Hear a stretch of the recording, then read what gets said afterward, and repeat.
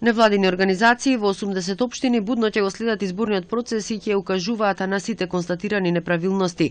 Ќе ги наблюдуваат јавните настани, организирани од политичките партии и ќе информираат за сите евентуални злоупотреби на државните ресурси. Ке се наблюдува и проверката на избирачкиот список, како административната, така и теренската.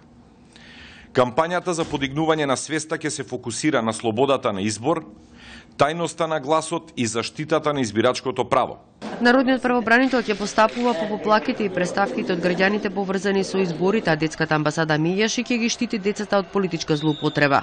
Како што е нивно учество во рекламни спотови на политички партии, активирање и ангажирање на деца за партиски активности, посебно во текот на изборната кампања, дистрибуција на пропаганден материјал на политичките партии со политички со, партиски содржини и организирање митинзи и собири посебно во училишта, градинки, таму каде што децата престојуваат и учат.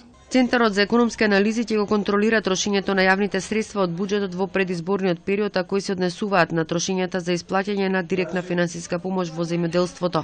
Ке се мониторираат меѓуетничките односи, говорот на омраза, евентуалните инциденти. Младинскиот културен центар од Битола ќе биде задолжен за можните злоупотреби во администрацијата во предизборниот период, како што е трансформацијата на работните односи од превремени во трајни.